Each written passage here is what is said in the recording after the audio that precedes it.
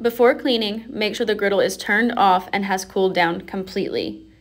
Use a scraper or spatula to remove any food debris or burnt on residue from the griddle surface.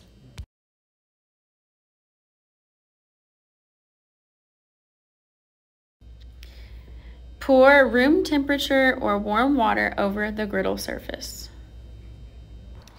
Use a cloth to dry the griddle surface completely. Make sure you use a tool or hand protection.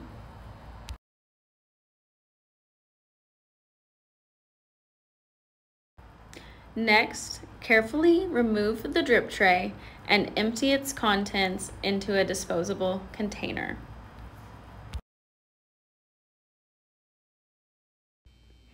Don't forget to clean under the drip tray. This can be done using a cloth and tool.